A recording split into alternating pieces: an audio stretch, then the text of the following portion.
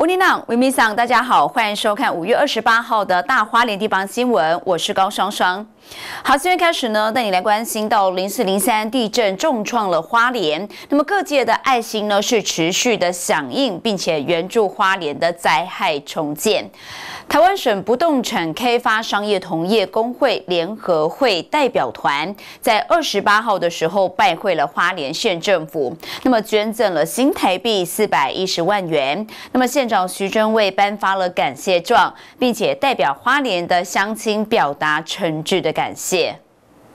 现在学员表示，面对这次地震带来的挑战，这些善款不仅为花莲县的灾后重建注入必要的资金。更为受灾乡亲带来希望以及鼓励。零四零三强震使花莲县观光、旅宿等相关产业受到严重的冲击，县府在灾后积极协助业者快速恢复运作，启动二零二四永续游花莲国内四大旅游市场奖励方案，大幅提高奖补助金额，包含旅行社团体旅游、住宿到国内外游客、花莲自由行等等，期盼带动食宿游购等各项消费。欢迎国内以及国外旅客来感受花莲的魅力。台湾省不动产开发商业同业工会联合会理事长吴保国表示：“天灾无情，人间有爱。有感于这次地震对花莲民众的生活造成极大的影响，因此尽一点绵薄之力。接下来也号召各县市工会的会员们组团一起来到花莲，支持花莲的观光旅游。”